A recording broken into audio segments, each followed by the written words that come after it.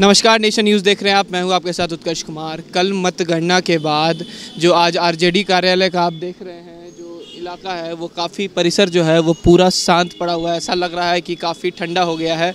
आपको बता दें कि कल जो महागठबंधन है, उसकी 110 सीटें आई हैं और वो बहुमत साबित नहीं कर पाई। उसके बाद आज जो कुछ कार्यकर्ता थे, जो कल जितने उल्लास में थे, आज कोई कार्यकर्ता यहाँ नज़र नहीं आ रहे। आपको बता दें कि कोई नेता, कोई विधायक या जो नेता विपक्ष एस यादव थे या फिर जो इस बार सीएम पद के उम्मीदवार थे, कोई भी यहाँ नहीं है। पूरा सन्नाटा पसरा हुआ है। अब देखना यह होगा कि इस बार जो सत्ताधारी हैं, सत्ताधीश हैं, वो इस बार सरकार कब बनाते हैं?